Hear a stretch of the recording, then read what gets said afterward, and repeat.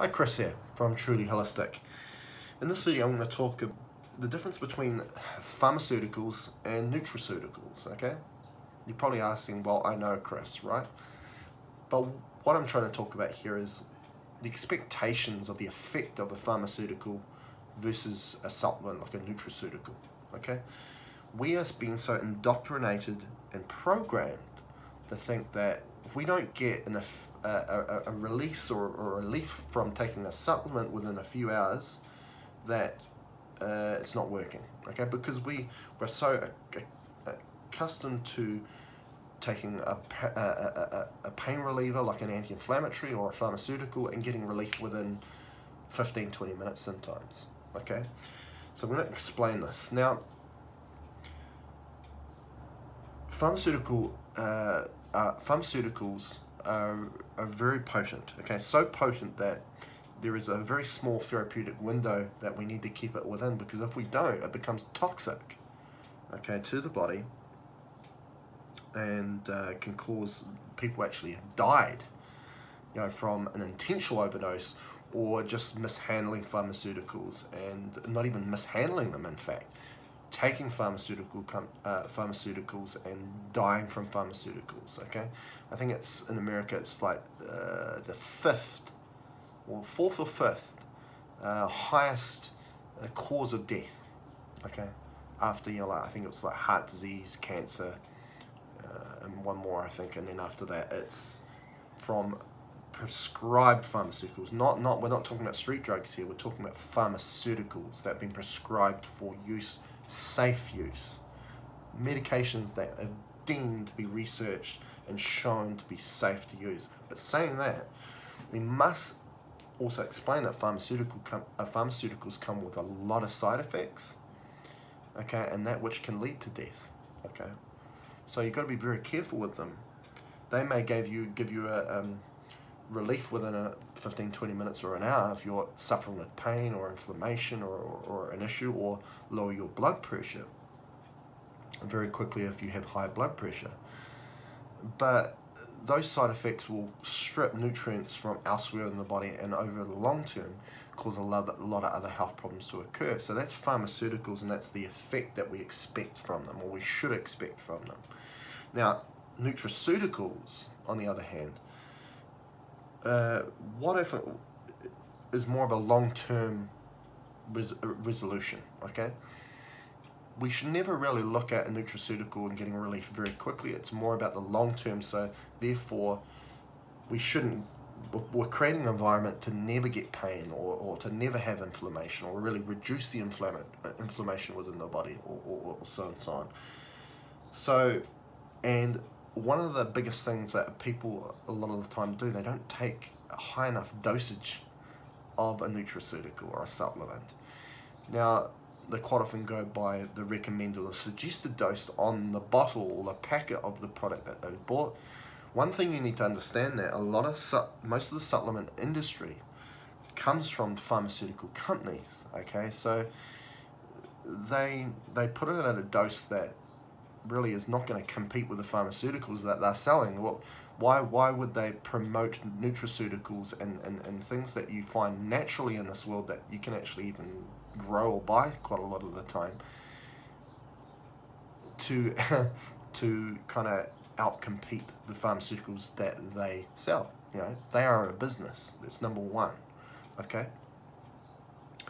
So I hear this a lot with a lot of people. They, they take a supplement, they take it at, the, at a very minimal dose, and they try it for a, a, few days or a week or two, or maybe even longer, like a month, and like it's doing nothing. Quite often, they haven't given it long enough to, to take the supplement, and more importantly, they haven't taken it a high enough dose.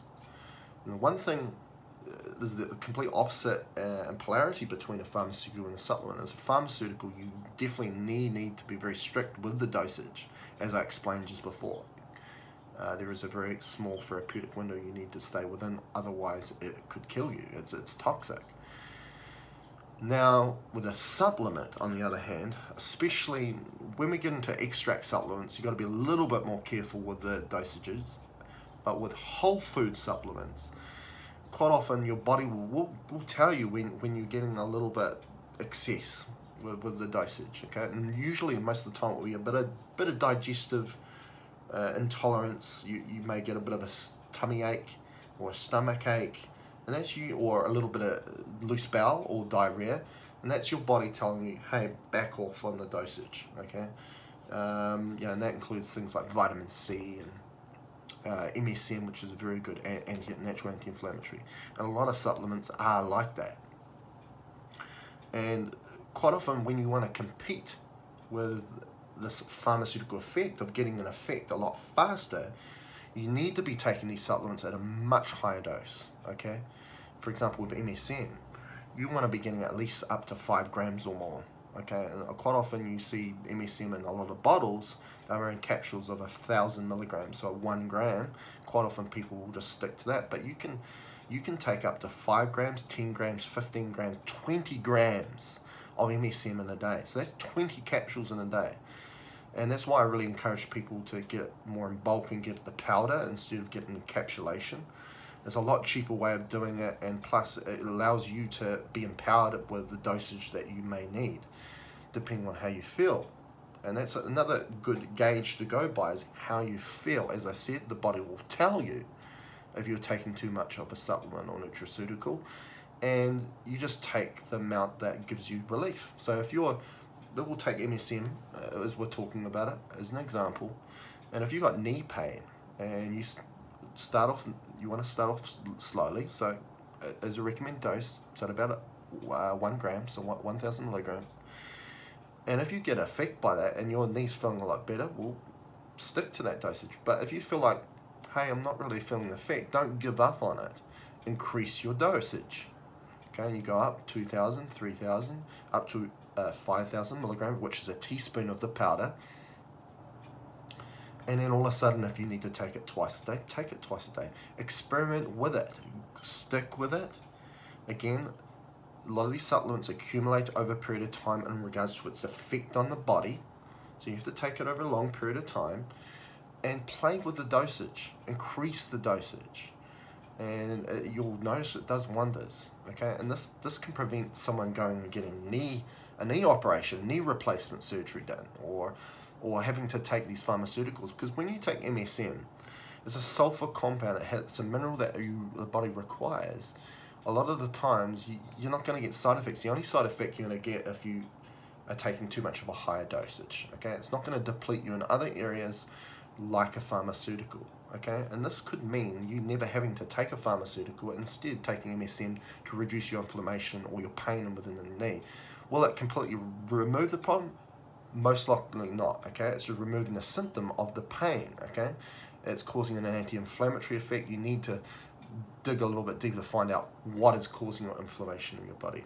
But saying that, we can use nutraceuticals and supplements for uh, alleviation of symptoms as well. It can be used to cure a problem for sure.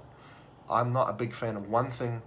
There's one thing that cures a problem. I think it's a it's a whole number of things put together to to change your lifestyle. Okay, to do the opposite of what was your lifestyle before that created the problem to start off with. But anyway, I thought I'd do this video to talk about this because uh, nutraceutical supplements do get a bad rap because again, we don't think of them in a we think of them in a pharmaceutical way or programmed way that we've been told that if we don't get effect from it quickly, then it's not it, it's useless. It's not doing its job when really we should be giving it a, a longer period of time for that effect to accumulate within the body and also be wary of your dosages. Increase your dosages. The, the dosages that you recommend on most bottles for supplements is, is, is nowhere near enough. Vitamin D is another a, a perfect example.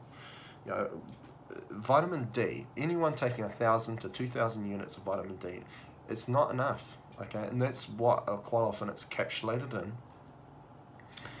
uh, again, depending on where you are on the planet, how much sun you get, obviously if you're close to the equator, you're going to get a lot more sun and a lot more potent vitamin D. Here in New Zealand, uh, where you know we're, we're, we're quite far south and people quite far north, then your capabilities absorbing vitamin D diminish a, a lot. So you want to look for other sources of vitamin D, including a supplement, and quite often in winter you want to be taking at least 6,000 units a day. maybe even 10,000 units of vitamin D, not one, okay? So do your research, okay, and don't don't be too alarmed uh, uh, with uh, supplements because they are a lot more forgiving on the body compared to a pharmaceutical. So the body will tell you if you're having issues, and um, and remember the body is a communication. It, it speaks to you. It's telling you what to do. Okay, uh, it's there to help you. Okay, it's it's a consciousness, and it will tell you, and keep those dosages up and and give it a fair crack. Give it a fair go with those with those supplements, and, and you'll reap the reap the, the benefits. Anyway, see you later.